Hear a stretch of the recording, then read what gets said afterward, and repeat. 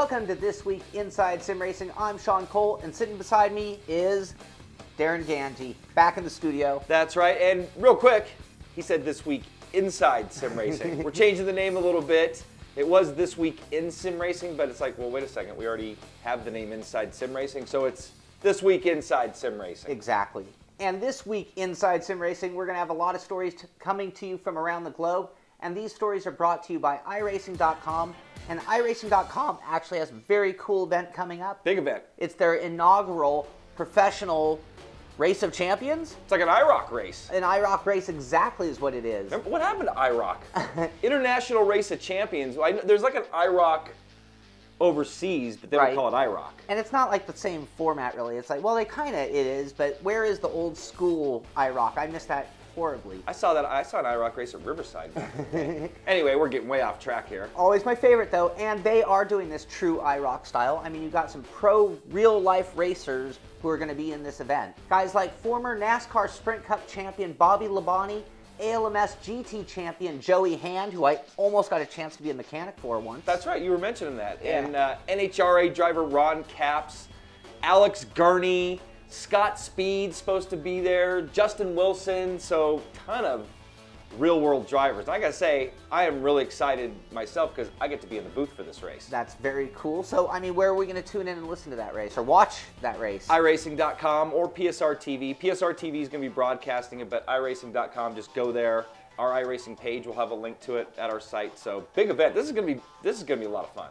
So, just out of curiosity, do you have any idea how many of these guys have like vast sim racing experience versus kind of Well, like Scott Speed, I know has run a ton. Justin Wilson, Bobby Labonte used to be like a tester for Papyrus back in the day. I don't know, Right. Did you know that? No, I, Yeah, I he used did to not. he used to run NASCAR uh, Papyrus titles back in the day. Is that how he got on the cover? Yeah, as a matter of fact, that's it. Yeah, that's how he did. I think he did a video for them too at one point. But um, yeah, it's going to be cool. They're going to be running the trucks, all fixed setup stuff. Trucks at Charlotte Night, Uh-huh. and that's going to be for 20 laps.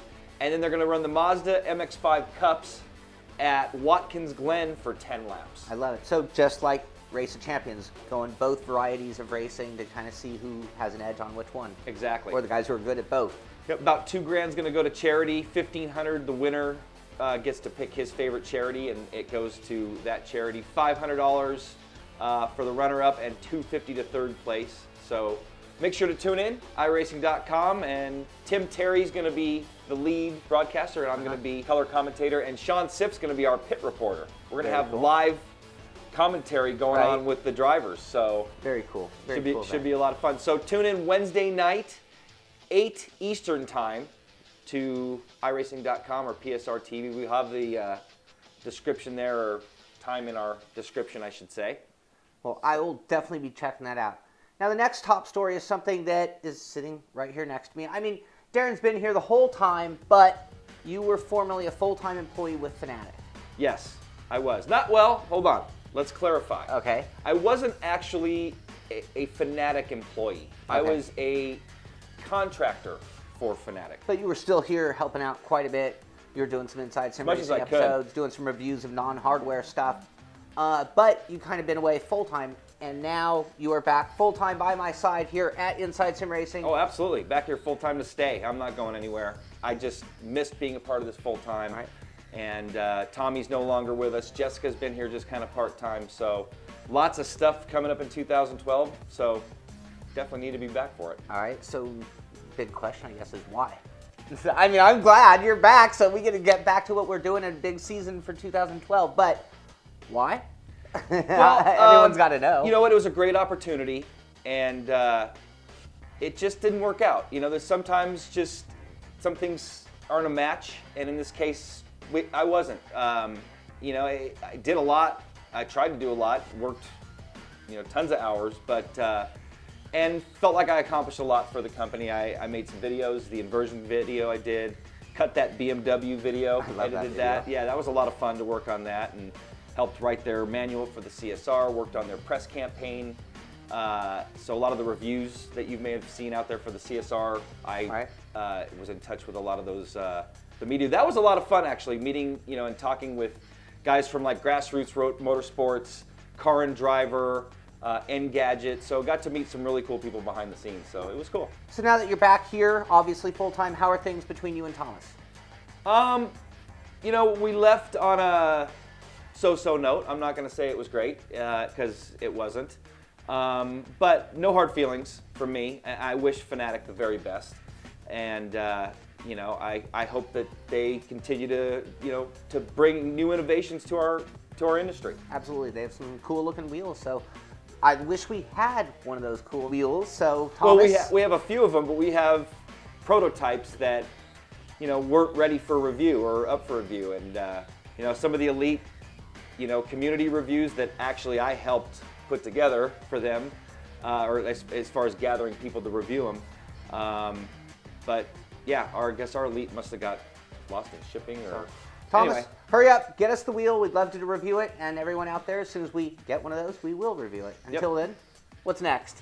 What's next? Well, next up on the show, uh, there's a new app on the scene for. Uh, we've been seeing a lot of these for for smartphones. Right. Uh, this one's for iPhones or iPad or I guess it's iOS. Uh huh. So uh, that's their operating system. So any of those type of app it, running things. Exactly. So it's a, a HUD or heads-up display, shows tax and stuff for rFactor Right. So it's pretty cool from a company called uh, Mightygate. I don't have an iPhone. I don't, I don't either. Mine's a Windows. When you guys get, I need a Windows app for one of these. It'd be cool. I have a, uh, matter of fact, I got my smartphone right here, and I, would love to have. They're all for the i something. Yeah. Anyway. So anyway, cool app. Uh, you can download it. Uh, we're gonna have a link here in the description of our show. It's selling for 159 euro. That's 1.59 euro, okay. by the way. uh, and it's a plugin. It sends the data to the iOS device using a plugin. Okay. It's available in both English and Spanish and displays various values including RPM speed, lap times and gaps, oil temp, water temp, and actual position. So go to www.mightygate.com to check it out. Very cool. Tell them we sent you. Yeah, absolutely. Tell everyone we sent you.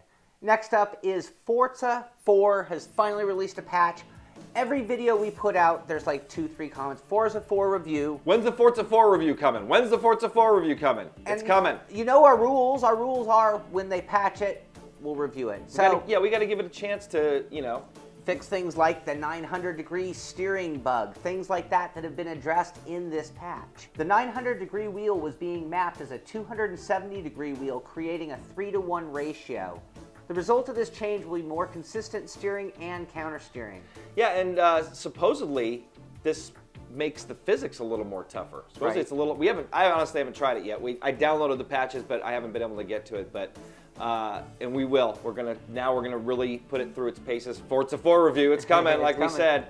But uh, yeah, supposedly it's harder to catch a slide, and it, it requires more input because doing a lot more wheeling with that 900 degrees. Well, yeah, because it's not a three to one anymore. Yeah. So you might even want to dial that 900 back right. on those uh, Fanatec wheels. The update also introduces some new tools designed to better regulate the Forza 4 economy. And last on the Forza front, in this update, they are also temporarily removing the ability for certain cars to post times on the leaderboards while they investigate refinements to their performance index system so for now, they're going to wipe those eight cars off the leaderboards and restrict them from posting times, but hopefully they're going to get them back into the mix. Yep. And as far as things for us go on Forza 4, we're hoping to get our review done by the end of the year now that that patch is out. If not end of the year, early next year. Don't want to put a date on yeah, it. Yeah, it is holiday season and all. Exactly. Next up, we have this title's or not title, but mod has been in the making for a long time. These guys have been talking to us uh, in behind the scenes in our forum and stuff. And Drag Factor for rFactor is now released. Finally, legitimate drag racing back in sim racing. This looks pretty cool. Yeah, it sounds really cool. It does. It's a standalone R-Factor mod that includes R-Factor Lite and the vehicles and tracks to make a full-blown drag racing sim. Tracks included are Australia's Willowbank Raceway, Full Throttle Raceway, and the Duke Boys Drag Strip. What is it? Bow and Loop. General Lee. Yeah.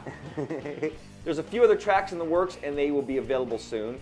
The mod is available now. As a matter of fact, I just got a link sent to me, and we'll have it in the description here for you guys to check out. And the mod's going to include 15 top door slammer models. This is Aussie, by the way, Aussie mod. So this is like Australian NHRA drag racing. Right. So a few different makes than we're accustomed to. Exactly. 15 top door slammer models, 65 individual real life race liveries, 28 real life door slammer and pro mod teams, 18 different superchargers and injector hat combinations, 19 types of wheels, three wheelie bar lengths, all sorts of stuff. And you're gonna be able to go head to head uh, via match race over the quarter mile in fully simulated drag racing events and series. You know, we were watching those videos and the speed immersion going down the drag strip was crazy. And the, I mean, I can't wait to try it out. The shift light flash and all that. Gonna Very cool. cool.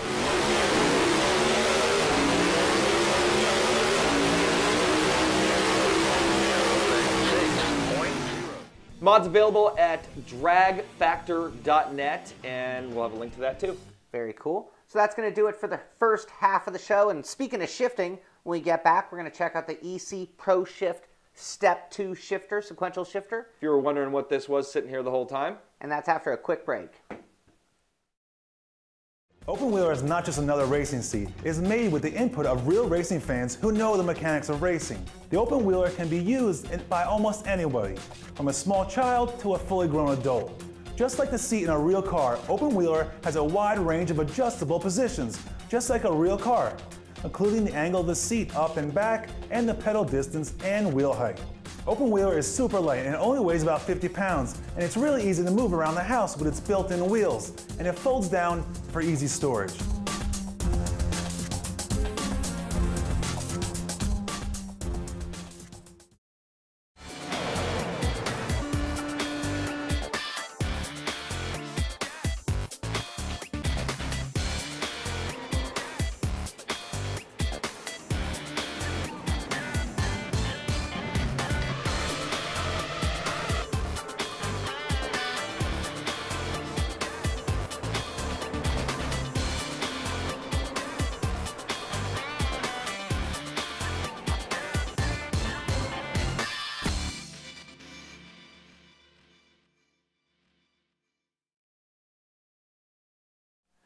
Welcome back to this week inside Sim Racing. And first up on this half of the show, we have the Sim Rig of the Week, sponsored by Tamiya USA, where you can find the hottest models and RC cars in the world. Go to TamiyaUSA.com. And this week's Sim Rig comes to us from Chris Shaw of Sussex in the UK. And he's been sim racing since the early days with Geoff Crammond's Grand Prix, various NASCAR titles, and Grand Prix legends. After many years of desktop driving, he decided to build a rig and put an end to the sliding pedals and wheel. It was actually my 80-20 profile rig that inspired his design. Well, we used to call that thing the limo. The wasn't it? limo, it was a beast of an 80-20 rig. It was. Which, by the way, people have asked me for the measurements to that thing. I'm sorry, guys. We had just parted that thing together, and I just don't have any measurements. And the final version was inspired from a post in our forum by a guy named Tony D. Using extrusion tubing profile, he made this design. The seat came from a salvage yard and was originally from a Toyota MR2. Once the base of the rig was complete, he equipped the rig with a DFGT and Club Sport pedals in an inverted position. The rig is completely stable with no wiggle at all, and when racing, he slides the rig under his old desk that still holds the monitor, speakers, and other accessories. At this point, he has about 300 British pounds into this whole rig. Right. Pretty cool. But you gotta love 80-20 because no wiggle. That's the thing about profile. Says he's really happy with the setup and plans on a new wheel someday and maybe a shifter. Shifter, you don't say. Speaking of the devil. Speaking of the devil. Now, this is the EC Pro Shift Step 2. By the way, thank you, Chris, for sharing your rig with us. That's before we get to this. Yeah, absolutely. That was really cool. And more coming soon here on the Sim Rig of the Week, sponsored by Tamiya USA. And so, post your rig in our forum if you want to see it on the show. yeah, man, we need we need to see more. And actually, we found some other ones, cool ones at iRacing's forums, the way I play. So Mm-hmm. Yeah. we'll be looking around out there to find some other ones. So stay tuned. so speaking of shifters, we got this from EC Sim Hardware, and these guys reached out to me. Um, I believe I've. Uh, this guy Eneco Mm-hmm. is the guy's name, but they are a Spanish outfit based in Spain. And I honestly, I thought when he said he was going to send this to us, I thought it was going to be a shifter, Right. A manual uh, gated I was shifter. say it's, it is a shifter. I kind of wish it was a manual gated shifter because we just did review a Frex. Yeah. Uh, sequen- this is a sequential shifter, by the way. And this is very similar to the Frex in many a way. yes, it is. Um, goes for right around two hundred dollars, 150 euro. Mm-hmm. Um, and again, you can get it from their website. We're going to have a, a link for it here. So, Sean, since you did the Frex review, Mm-hmm. how about if I just ask you some questions about how it compares? Because honestly, I didn't get to drive the Frex that much. You Right. kind of hoarded it to yourself, which was fine. Um, but uh, this thing looks pretty cool. It's pretty stout. It is, and look. Let's start with the look, since you brought it up. Uh, right off the bat, this looks much, much, much cooler than the Frex, and the reason why is the just had that DIY look about it. Very open. You can see every, all the internals, and I like the way this looks. It's all aluminum encased with these plasticish ends. Yeah, much more polished. Much Um, more polished look. Yeah, and, and even when you're you're holding it, you kind of feel that because you can put your arm down on here, and it kind of feels like the area where a shifter would be. Um, so the whole thing is a little more shifter looking to me than the Frex. So I mean, PC compatible only. PC only. USB. Comes with some mounting brackets that we're not showing here because it makes it a little uh, unbalanced here, so it's nice to have it flat. But lots of mounting holes that are uh, M6 threads. Yeah, that the Magic M6 thread. It means just pretty much everything. Same as your wheel mounts essentially. So like a the when you hard mount a wheel, it's an M6 hardware you're using. Same. The other thing, the clamps they used, if you're using a one inch desk surface, were actually kind of cool. You could move them around, but you needed at least one inch to lock them down. So I was actually trying to do it to a very flat piece of metal. Wouldn't work, but all I had to do was drill two holes and I could mount them any way I wanted.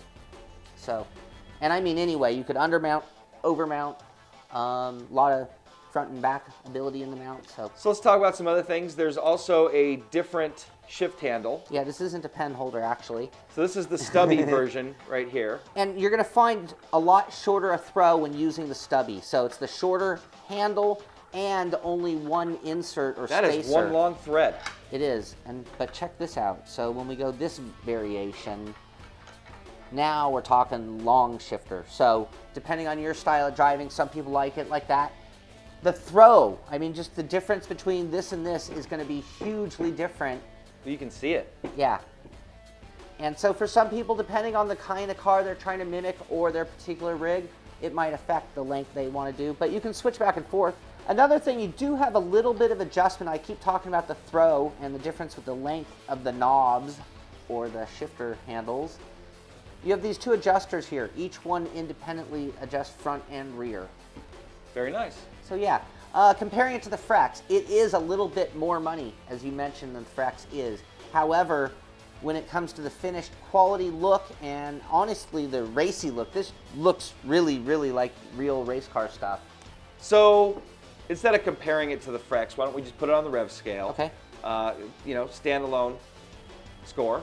Uh, so what, what would you give it? As a reminder, I gave the Frex a nine, and you it is a little pricier, but you're getting a little more for it. It looks so cool. A, a big difference in cosmetics, and, and the feel is very similar. I'm going to give it a nine out of ten. I go with that. This actually, eh, to me, is the Frex almost was like a switch. Right. This doesn't feel as switchy. No, it's more like you're hitting a button at the end of this tension, and it kind of has a tap tap, you know, and, I- and I like that. Yeah. Um, so yeah, I, I highly recommend it. I mean, sequential shifters at this kind of price are for a certain type of racer. I give it a nine out of ten. Am I recommending it to every sim racer in the world? No. This is the guy who is again looking for that elaborate cockpit, mimicking a real car that they might want to run in real life or do run in real life. And and for those guys, I honestly give it a nine out of ten. I do too. And there's some, uh, these guys make some other products too. I believe they do make a, a manual shifter or a gated shifter. I'm not positive. I, I know they make a handbrake. Right. Um, and I think a tack too. Yeah. One thing we didn't really mention are the handles. Uh, we got both and these spacers. I am not 100% sure if when you order it, and their web store unfortunately was down, so I couldn't double check, and it was a little hard to communicate. But I'm not sure if it comes with both or if that's an add-on for a few bucks, probably. You'll be able to tell when you're ordering, I'm sure. Yeah. And uh, yeah, we'd recommend it. You know, check them out at EC Sim Hardware. Going about 200 bucks. Uh, I'm not sure if they ship international. That's another thing. Their website is it's definitely hard. You know, just like wow, Frex. yeah, good You go to frex.com and you have to you can't go anywhere. You have to actually type forward slash GP. But anyway, this is EC Sim Hardware. I'd like to thank Ineco for sending us this unit. We really appreciate it and uh, check it out. It's definitely if, if this is something that you're looking for, like Sean said, not a must-have, but something that if you wanted a sequential shifter, yeah, it's, going to do the job. yep, no question. So that's going to wrap up this episode of This Week Inside Sim Racing. Hope you've enjoyed it. Make sure to like us on Facebook. We've got a, a link on our homepage. And like us, if you're a Facebook member, give us a little like there and Yeah. help boost our numbers there if, you- if you don't mind. And Definitely. Join us on our forums. Lots of uh, conversation going on there. And subscribe to us on YouTube. Want to know when our shows are coming out? Actually, we're starting to upload back to iTunes for those iTunes. Man, we keep mentioning iTunes. They And we don't even have iPhones, Yeah. but that's why we got away from iTunes probably. uploading our shows, uh, backlog of shows to iTunes. So for those of you that wanted those episodes, those are coming. I'm Darren Ganji. Sean Cole, welcome back. Thank you. Great to be back. And thank you, viewers out there, for all the warm wishes to come back. Uh, it was great to see that I'm still welcome here on the show. uh, but uh, we'll see you soon. Lots of stuff. Oh, we got to tell them what's coming. We got big things coming. Who was in the studio oh, yesterday? We had the coolest day yesterday. One of my heroes, and Darren got to interview him. Who'd you talk to? Bryan Heitkotter. What a cool guy.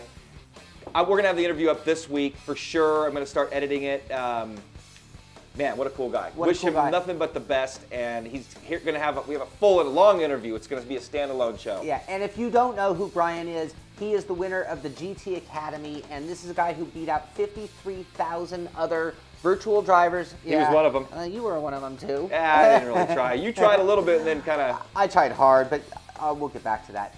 Anyway, we have that interview. Incredible stuff from uh, just a gamer to pro race car driver. So you want to hear about that. Lots of other stuff coming. Sim Seat review, Forza 4 reviews coming. Yeah, Don't worry, yeah. guys, it's coming. Uh, We got another wheel to review even. yeah, we got the Mad Catz force feedback wheel. I'm dying Hopefully, we'll have out. some Fanatec stuff. Yeah. We'll see. Come on, Thomas. Yeah, come on. Get over it. Let's go. All right. So that's gonna do it. That's going to wrap it up. We'll see you guys next time.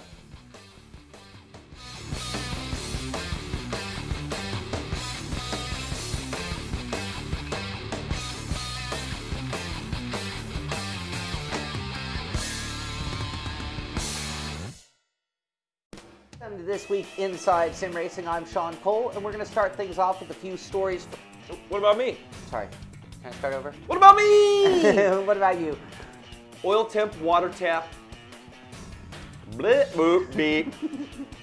few other tracks are in the works, and a few other tracks are available.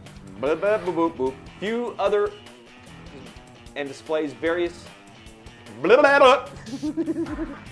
And Okay, so what about on the rib scale? on the ribs, the rib scale, the now famous rib scale, I, I No, no, no, no. Say, I'll say that again. I'm just. Selling for a dollar. It's selling for. Sells for a